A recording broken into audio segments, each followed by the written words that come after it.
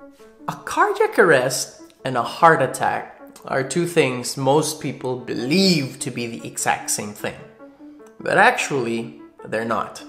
So in this video, I'm gonna be letting you know what that difference is. Come in right up.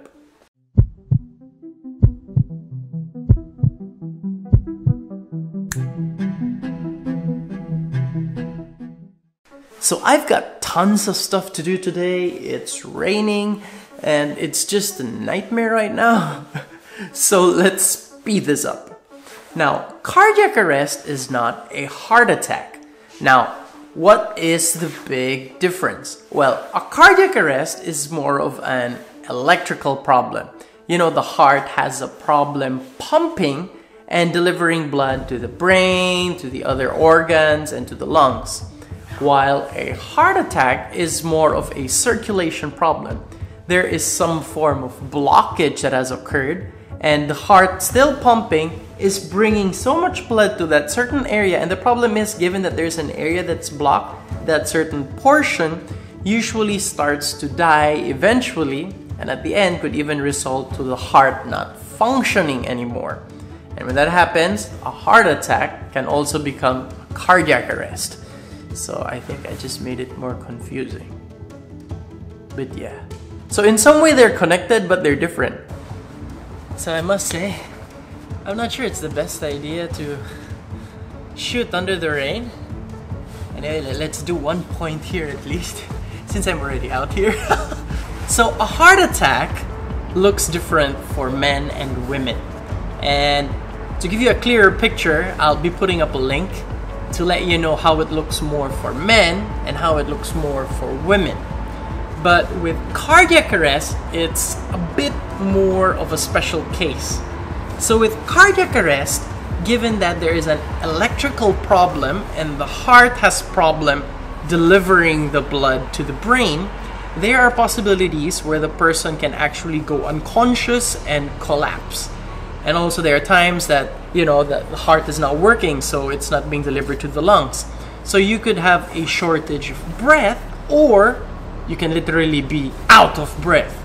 And lastly, uh, given that your heart is obviously not functioning, your pulse rate would be really low or you can even have no pulse. So I think I'll, I'll just continue shooting inside. This is a bad idea. So what are the big causes for the two? Well, with heart attack, uh, I'll, I'll, post the link here to give you more of an explanation so you have a clear in-depth of what causes a heart attack. And for cardiac arrest, well, the causes are pretty interesting and quite disturbing.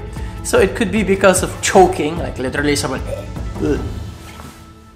choke myself for a bit and I feel like vomiting. That's quite sad, you know. Imagine someone tries to choke me to death and I just vomit on the person. That just doesn't, nah, nah, doesn't work. and, and sometimes it could also be because of some form of electrocution or there could be some complication during a heart operation, a heart procedure.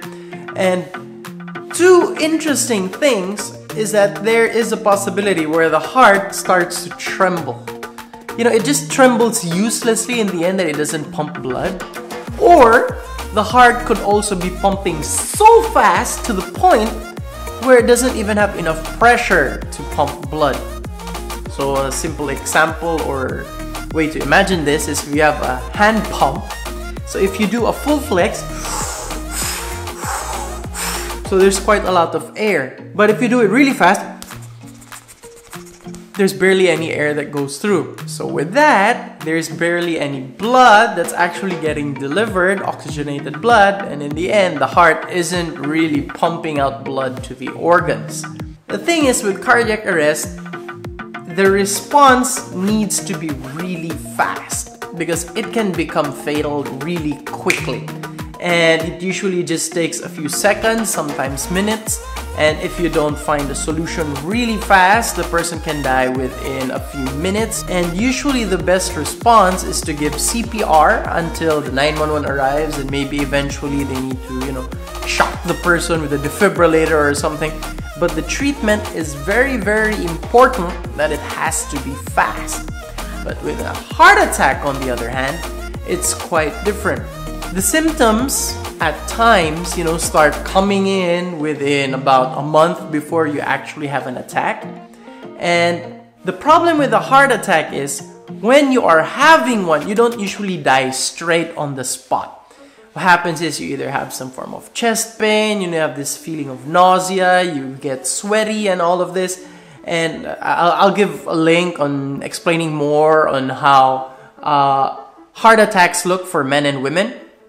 But the problem with heart attacks is that time is of the essence.